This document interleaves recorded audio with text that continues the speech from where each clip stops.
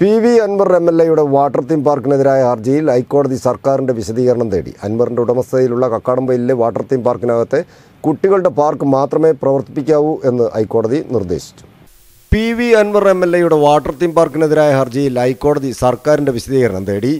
അൻവറിന്റെ ഉടമസ്ഥതയിലുള്ള കക്കാടംപൊയിലിലെ water theme പാർക്കിനകത്തെ കുട്ടികളുടെ പാർക്ക് മാത്രമേ പ്രവർത്തിപ്പിക്കാവൂ എന്ന് ഹൈക്കോടതി നിർദ്ദേശിച്ചു. വാട്ടർ തീം പാർക്കിന്റെ ഭാഗമായ പൂൾ അടക്കം പ്രവർത്തിപ്പിക്കരുതെന്നും ഇക്കാര്യം ജില്ലാ കളക്ടർ ഉറപ്പാക്കണമെന്നും ഹൈക്കോടതി നിർദ്ദേശം നൽകി.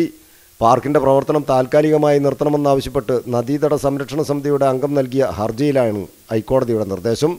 ശാസ്ത്രീയമായി പഠനം നടത്താതെയാണ് കുട്ടികളുടെ പാർക്കിനായി സർക്കാർ അനുമതി നൽകിയതെന്നാണ് ഹർജിയിൽ പറയുന്നത്.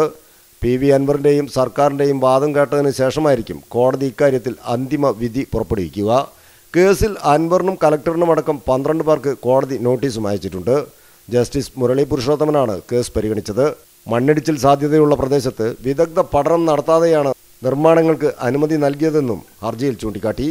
നദീതട സംരക്ഷണ സമിതി പ്രവർത്തകൻ പി വി രാജനാണ് ഹർജി നൽകിയത്. ഹർജി രണ്ടാഴ്ച കഴിഞ്ഞ് പരിഗണിക്കും. ന്യൂസ് ഡെസ്ക് സി പ്രാദേശിക വാർത്ത.